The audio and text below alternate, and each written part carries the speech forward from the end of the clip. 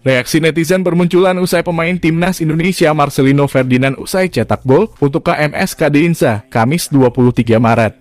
Pemain timnas Indonesia Marcelino Ferdinand untuk kali pertama menjadi starter bersama KMSK Dinsa dalam sebuah laga persahabatan melawan KV Oostende di Dias Arena, Belgia. Kamis 23 Maret siang waktu setempat. Bahkan Marcelino mencetak satu gol dalam laga ini. Marcelino mencetak gol pada menit ke-73 untuk membawa Dinse menutup pertandingan dengan kemenangan 3-1.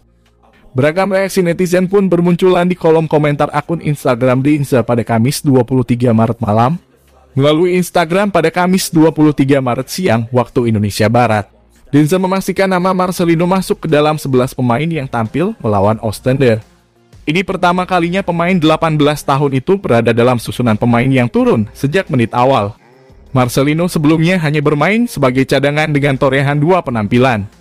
Tapi kali ini Marcelino pun mendapat kepercayaan penuh dari pelatih Dinse, Mark Rosjan.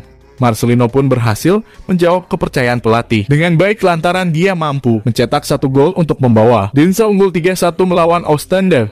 Only friend, no light Just the sun coming up on the horizon. I lose track of time, yeah, I move fast and climb. A new class divine, yeah, true passion shines And I'm through passing time, I choose stacking dimes You snooze half the time while I move passing by